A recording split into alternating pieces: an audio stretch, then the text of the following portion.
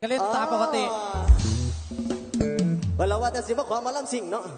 พี่ๆเขาบอกว่าอยากจะร่วมขึ้นมาดูข้างบนว่ามันเป็นยังไง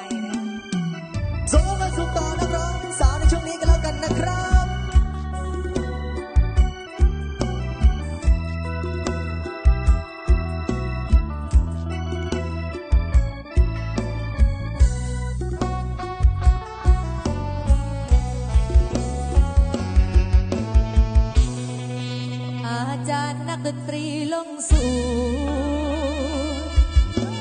น้องกำลังวสิโอละน้องน้ำตาก็ไหย้อยลงคอกันน้องสมัครย้อนวายแฟนคลับประจำนำซ้ำเป็นคนที่นองหักบอผู้สาวแทบไม่เข้า